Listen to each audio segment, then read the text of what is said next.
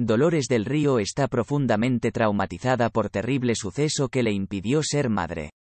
Bienvenidos a nuestro canal Recuerdos del Cine de Oro en un día especial. Antes de cumplir 18 años, Dolores del Río se casó por primera vez con un hombre mayor que ella y con quien hubiera tenido a su primer hijo. Nadie puede poner en duda que Dolores del Río fue una de las más importantes actrices del cine de oro, pero aunque logró ser reconocida por su carrera, la diva de la pantalla grande no logró tener hijos por un terrible suceso que le impidió cumplir sus sueños de convertirse en mamá.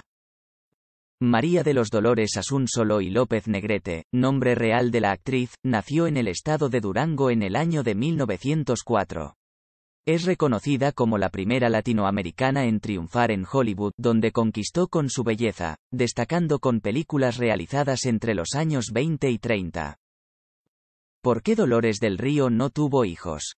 Del Río se casó por primera a los 15 años con Jaime Martínez del Río, de quien tomó su apellido, hombre que provenía de una de las familias más ricas de México y le llevaba 18 años. La pareja se conoció durante un evento a benéfico y después de un par de meses de noviazgo se casaron en 1921. Luego de una larga luna de miel por Europa, Dolores regresó a México con su esposo y ambos se dedicaron a cuidar de un rancho que tenían en su natal Durango. La diva del cine estaba embarazada por primera vez y con una gran ilusión por convertirse en madre. Lamentablemente la actriz sufrió un aborto, y la gravedad fue tal que por indicación médica le fue prohibido un segundo intento, debido al alto riesgo que tenía de morir. Fue así que no logró tener hijos, y aunque era algo que deseaba, no tuvo descendencia. La relación con su primer esposo duró siete años, y la diva conservó el apellido de su exmarido. Su paso por Hollywood y el cine de oro. La actriz tuvo una destacada carrera en el cine estadounidense durante los años 20 y 30. Participó en numerosas películas románticas, dramáticas y musicales.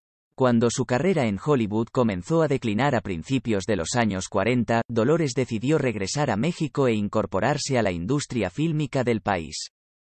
Regresó a México en 1943 y se convirtió en una de las principales figuras femeninas del cine de oro. Durante el resto de la década de los 40 y a lo largo de la década de los 50, la actriz se mantuvo activa en la industria en nuestro país, aunque también trabajó en Argentina y España. En 1960, Dolores del Río regresó a Estados Unidos y alternó su trabajo en el cine entre México y Hollywood.